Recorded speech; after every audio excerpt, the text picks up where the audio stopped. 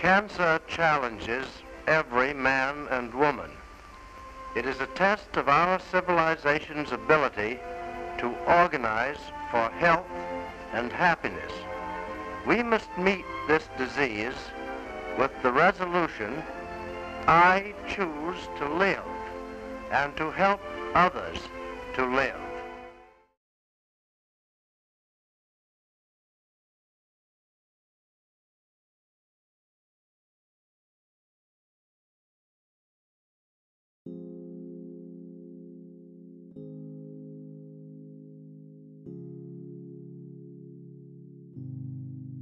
There has been a worldwide effort to find a cure for cancer, but it still remains medicine's greatest unsolved problem.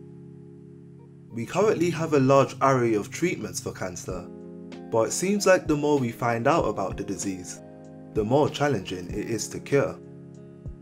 But there has been many high points in the history of cancer treatments, and I hope to demonstrate just how far we've come in this video by going from the cancer treatments during ancient times to the more sophisticated ones we have today.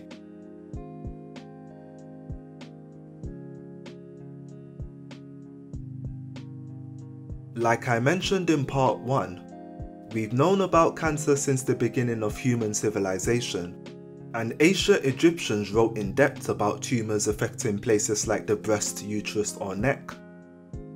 They mainly recommended the removal of tumours by either surgical excision or by burning them away using fire drills. But surgery was quite limited at the time, and they had no way to reach tumours that formed deep inside the body, and the tumours that they could reach mostly relapsed after a while. The difficulty of treating cancer was summarised by the Edwin Smith Papyrus, which concludes its section on the disease by simply saying, There is no cure. The ancient Greeks tried a more stepwise approach to treating cancer.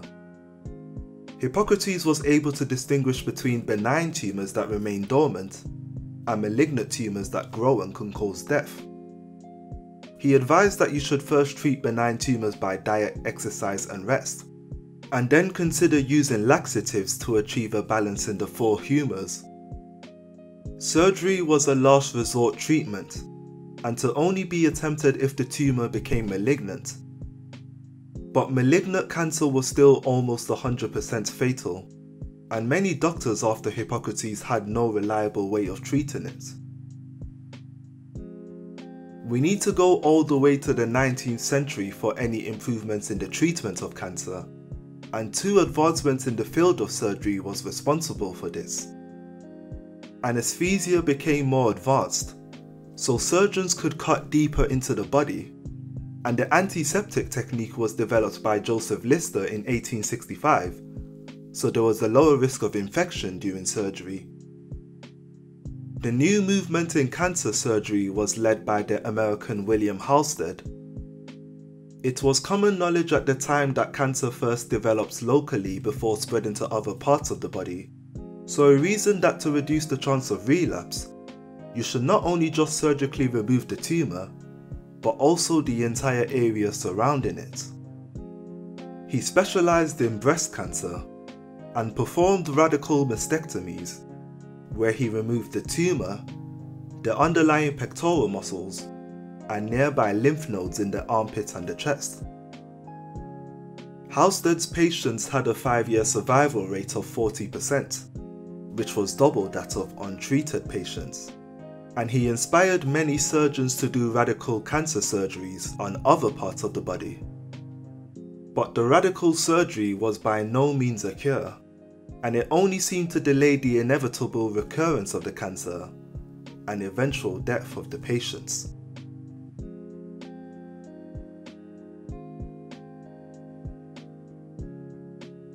Radioactive particles and waves can kill any living cell by damaging its DNA, so there was a lot of potential for its use in medicine. The field of radiotherapy was kickstarted in 1895 when Wilhelm Röntgen discovered X-rays, and the very next year, a few doctors reported that they were able to use X-rays to shrink the tumours of their patients.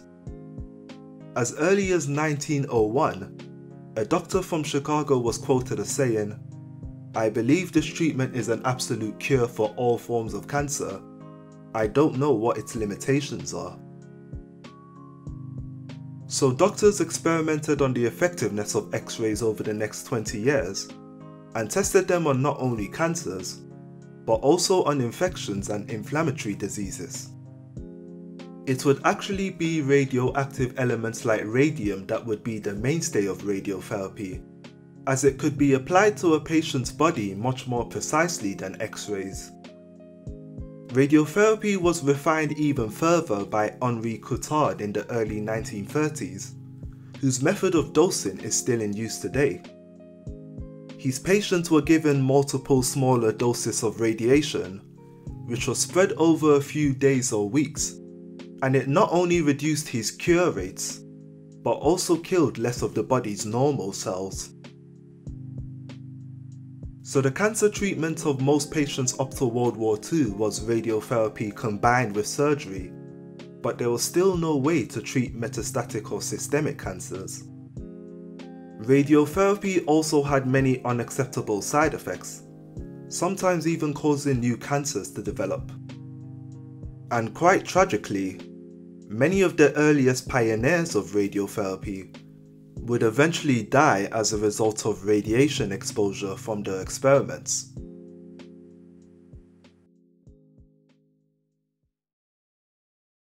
The doctor fighting cancer today has three principal weapons surgery, radiotherapy, and treatment by drugs or chemotherapy.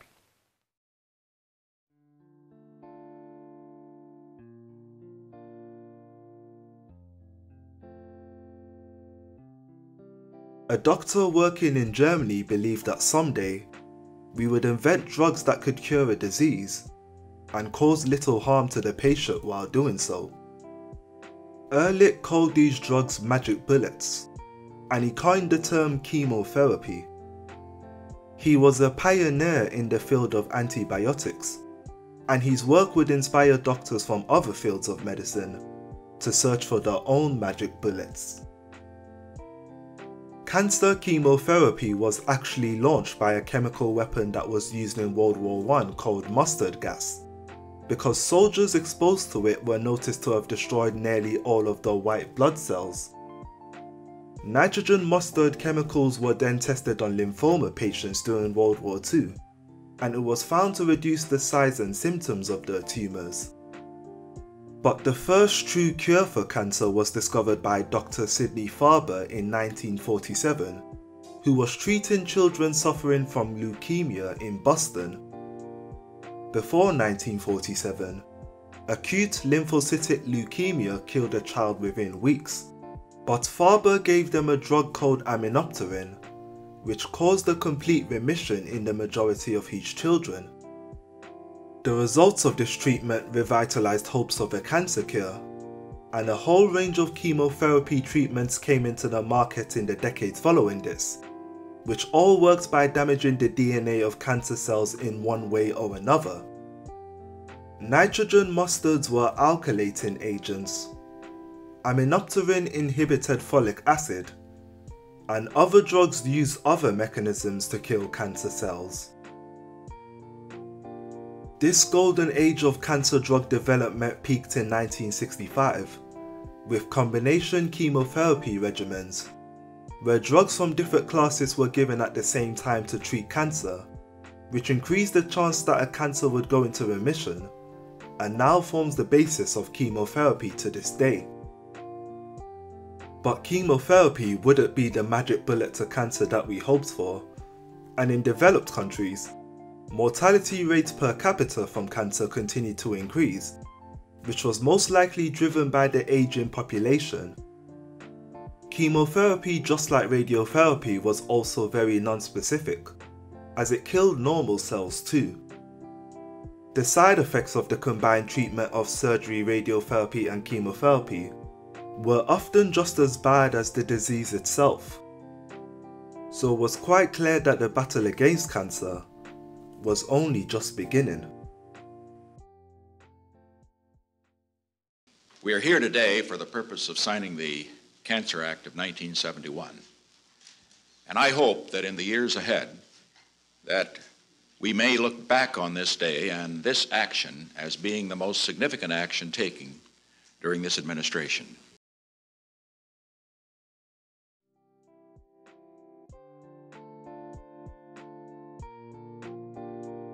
The American government declared a war on cancer in 1971, with the belief that since more money and resources took us to the moon and developed atomic bombs, the same could be done to cure cancer.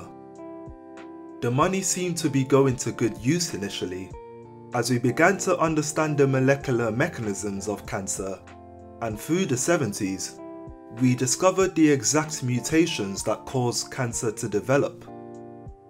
We found several oncogenes and tumor suppressor genes, and we used them to make detailed genetic pathways to demonstrate how a cancer could form. And in the 90s, we were able to use one of these pathways to find the first ever targeted therapy for cancer.